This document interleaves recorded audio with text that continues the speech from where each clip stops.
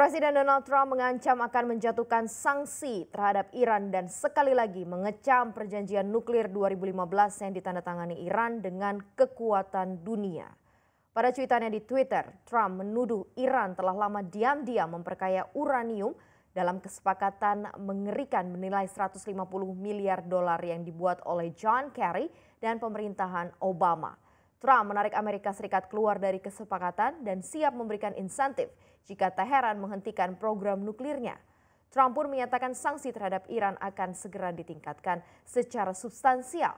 Sebelumnya, Iran mengumumkan rencana peningkatan pengayaan uraniumnya di luar batas dalam kesepakatan.